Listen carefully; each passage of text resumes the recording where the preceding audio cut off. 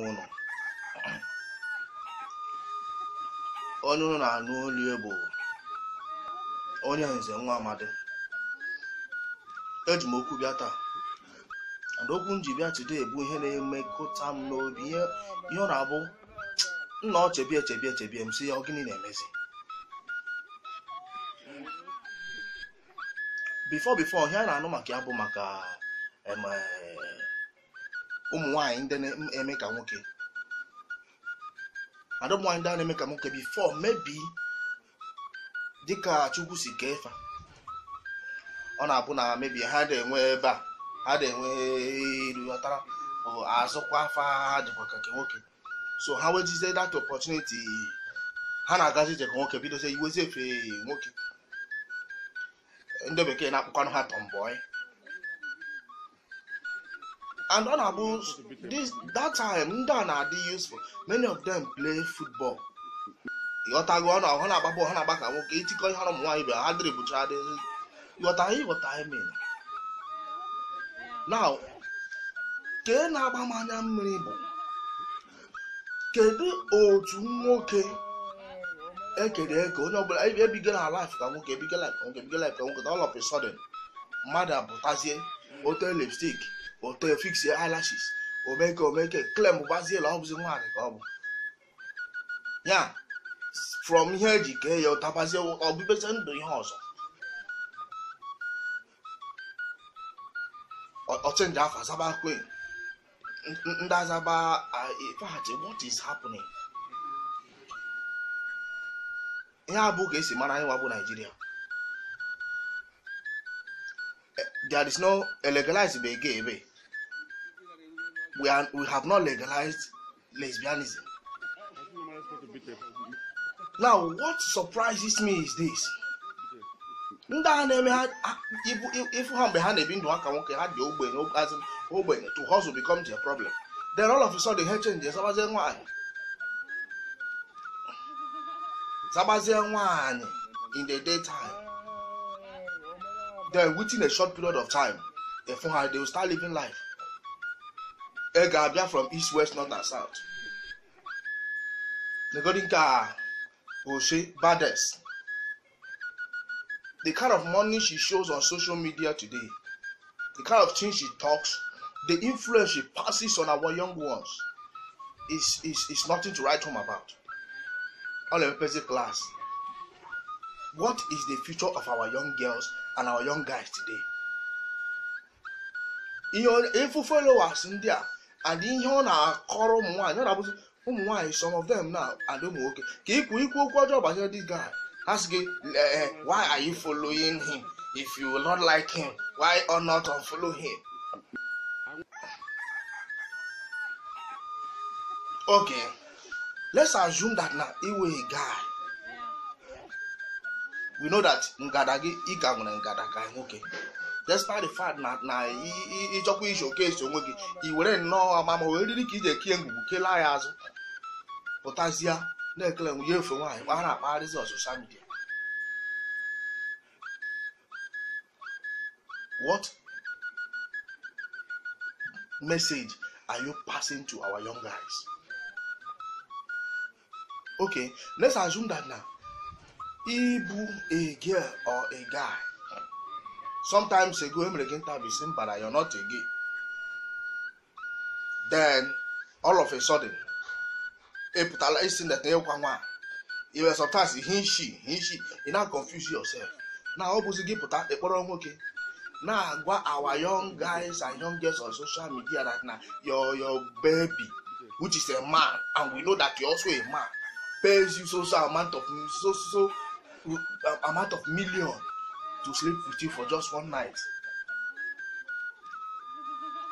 then at the end our government cannot see that or they have seen and ignore that na ibu and onye na-akpakwa bed bụ nwoke ị ga-arọ n'elu bed with nwoke ibe gị na-eme selfie agba nkịtị a na-ekwu ka a na-ekwu say na see this one wey just dey come out so k na even this one is obvious that na o nwere ahụ nwoke ịbụ na ahụ kpọrọ ọchịchịrị asịkwa ga-eme ka ka onye nke ọzọ mere mebi fụọ ike ya ọ obi ya ka ọ were ara ọ onye nwere ururu ahụ ka a na-afụ ada afụ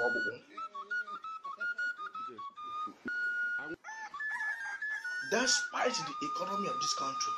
amam na our youths na valid to do whatever it takes for them to at least feel well and look good. Efu this one na ka obe ka obe na ka ka pinchop ka na apụta ugbu. This one is just coming up. Any day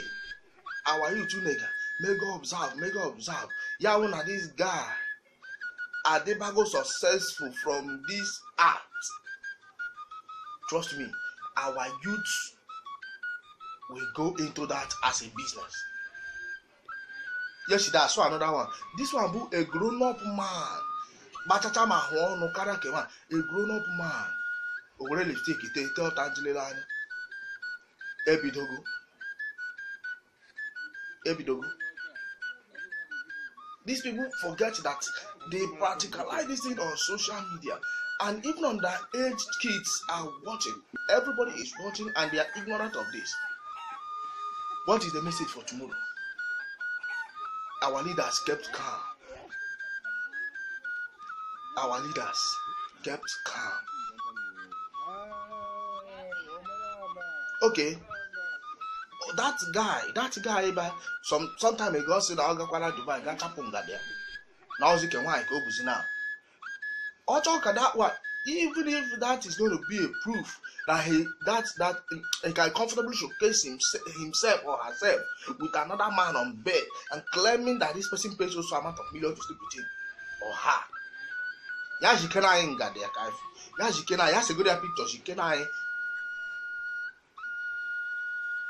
Ka obere a na-atụ and this thing among a particular tribe now, because their native language the abukari one tribe. I'm not going. I'm not. I'm not. I'm not trying to be tribalistic here. But this one that just that is coming out, okay, how do we there around the obvious?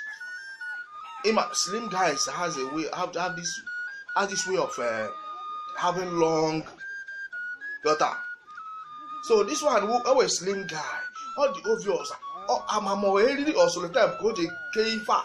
Kecha, chacha, chibula, even upon that, no, but I don't go bend there. onye ojeke ya okechaa ya bulaa ya azụ si obendekwa die ifu something dị ka isi mmadụ nọ under very obvious what is our leader doing about this thing i'm not trying to be against anybody's hustle but there are legitimate ways of making money if this is a way of you maybe if you want to claim that you're an actor and maybe in your roles you dress like a woman to play it's quite understandable but don come to a social media platform to misadvise our young ones to mislead them it's not proper it's not proper now every day these things are coming up every day these things are coming up every day these things are coming up i saw one yesterday even it was even that one that one it was it the yeah, just yesterday or day a grown-up man a grown-up man that is supposed to be married with kids or, he people were like or they uh, what what what what is happening what is happening at the time na-enwebe class uh, uh, uh, uh, this one uh, uh, coach i don't know or the jealous of ka ọhụrụ no n'ọbụ klaasị ọnlaịn onye ga-achọ ọgụ ike a na ọrịa ọ onye nke chọrọ ka ọ bụrụ head over this one ọ bụzie klaasị ọ bụzie klaasị ke klaasị ife nga bụ clash of cross dressers it is funny man it is funny and this thing should be looked into and taken care of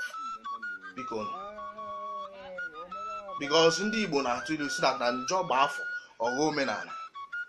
ka ọ maybe before the next two years anyị niile abụrụzie cross dressers because ịchụ ego ebe a ka ọ dịrọ mma and maybe somehow ị you pull that now. these cross dressers has a way of attracting the people who are holding the money in this country maybe ịpụta adresị aga problem na-ebunye ego unu nwege onye ọbụla enwe dis mindset anyị niile ya asị cross dressers ịbatazi ebe a abụzi zone of cross dressers